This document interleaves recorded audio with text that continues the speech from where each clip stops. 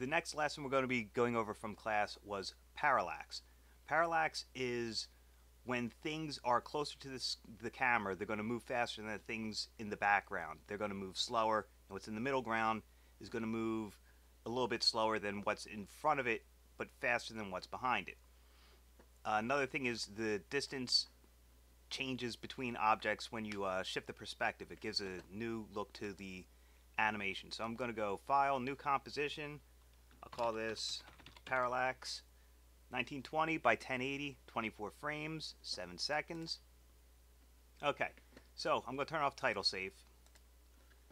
And I'm just going to make three shapes to show you this. So it's going to go Layer, New Shape.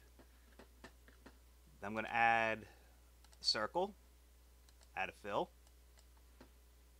And I'm going to switch to my black arrow tool, scale this up. I'm going to make this red.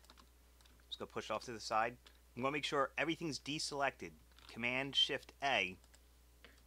Because if I add another shape inside this shape like we did last week, I run the risk of intersecting or subtracting the two shapes. So nothing's selected. Layer new solid. Nope. New shape layer. And I'm going to add a poly star. And I'm going to add a fill. And I'm going to change this to green. Go to my black arrow. Scale this up. I start dragging, then I hold down the shift key. Now, Polystar, I want a triangle, so I'm going to twirl down the contents by Polystar, change this to 3. Now I have a triangle. And then last but not least, so I'm just going to twirl these up, give myself some space to work. Nothing is selected. Layer new, shape layer, add rectangle, add fill, and we'll make this blue. So I have three different colors, three different shapes. I'm going to switch to my black arrow tool. And I'm going to scale that up. Now, I've seen a lot of people in class accidentally have the hand tool selected for moving around the screen. That's fine. But you can't change any of your layers or do any twirling down of the arrows with the hand tool selected. You must be on the black arrow tool. Always remember that. Okay, so this is two-dimensional. These are all flat objects occupying the composition.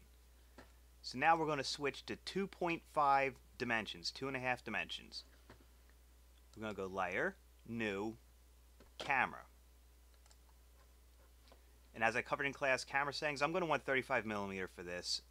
Um, you could always do your own choice. I just don't want the camera to be too far away. This is the distance of the lens to the object. This area right here is what's going to be in focus. Make sure you have depth of field enabled. I'm going to change my f-stop to 1.8. That'll give me a nice shallow depth of field. I'll keep the blur level at 100 and then click OK. It's just saying, hey, you're going into three dimensions. That's fine. Click OK. There's my new camera. Now, these three shape layers are still two dimensions. I want to make them 3D enabled. This is your 3D enabled column in your switches right here with the cube. So I'm going to click in there. Sorry about that. Now you can see all three layers are 3D enabled.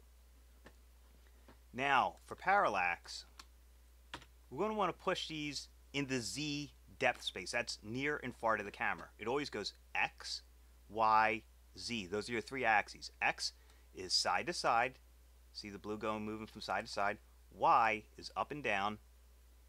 And then Z is closer or further from the camera. So I'm going to hit undo there. Alright, so I'm going to overlap these all a little bit for this demonstration. Now, I'm holding down the shift key to constrain it along an axis, or you could wait until your selector, see the X next to the cursor, that means I'm grabbing the X axis and it'll move just side to side, or if I grab the Z, see now the Z is selected, I'll move back or forth to the camera, and the Y axis. And like I said, you can always move things by scrolling along the numbers if you want, like that. Okay, so now these are overlapping. Now I'm going to move them in Z space. I'm going to do minus 800 for the blue, push a little closer. This one I'm going to do minus 200. So it's a little bit closer to here and further from that one. This one's going to go 500. I'm going to send that one backwards. Now they are all overlapping. The camera tool up at the top is what you use to change your camera when it's in the scene. But what I do, and I encourage everyone, is to use the letter C on your keyboard. I'm going to press C one time. Now I'm at the camera tool. The camera tool has four pull downs right here. Orbit, Unified, Track XY, Track Z. I'm going to explain them all by pressing the C key.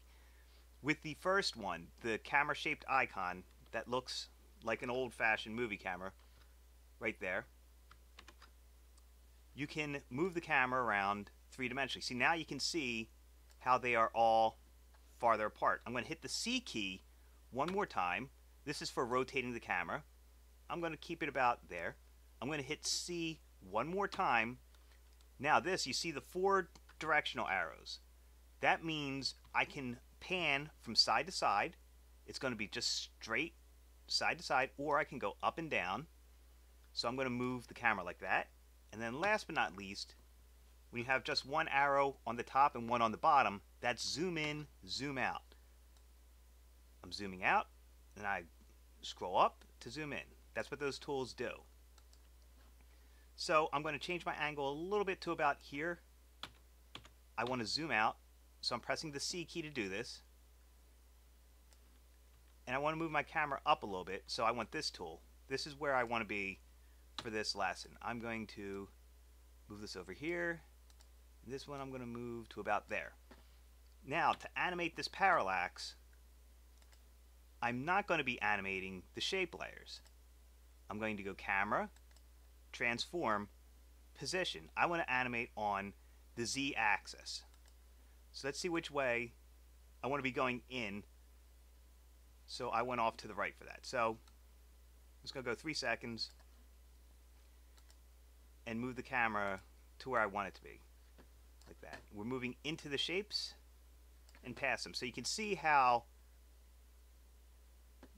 the parallax effect, the shapes change their distance in relation to one another as we're moving through three-dimensional space.